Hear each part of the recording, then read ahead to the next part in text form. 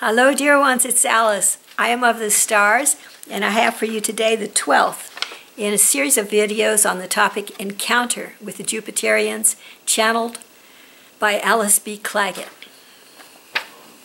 The title of this, the 12th in the series, is Parietal Eye, a Star Gift to Reptiles, Amphibians, and Fish from Reptilian Star Beings that Overlight Them. There's a question mark here. I'm not sure if it's so or not. It's an interesting theory. And here's the talk.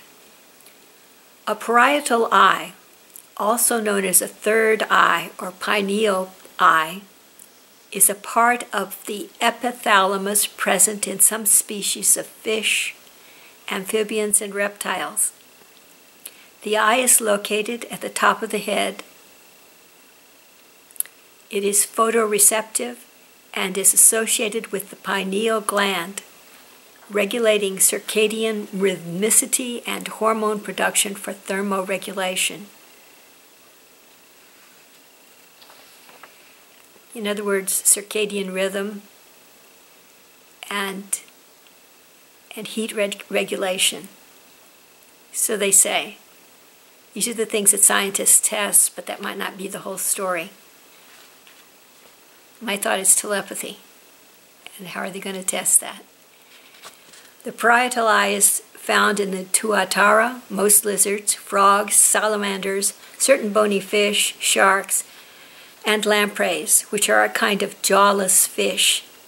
It is absent in mammals, but was present in their closest extinct relatives, the therapsids, that's T H E R A P, SIDS.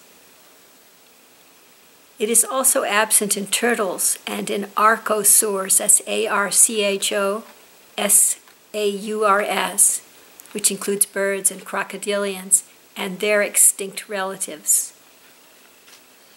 I have a, a picture to show you from Wikimedia Commons of the Madagascar spiny-tailed iguana.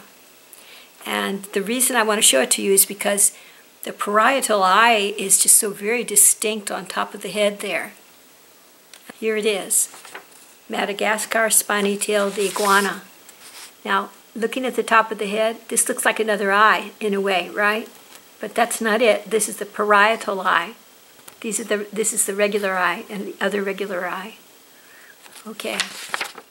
So now you know what it looks like in case you run into it in other lizards. And if you go hiking, no doubt you'll run into a less distinct version of the parietal eye in the lizards that you see along the way. Um, so that's it for now. Y'all take care. Talk to you next time.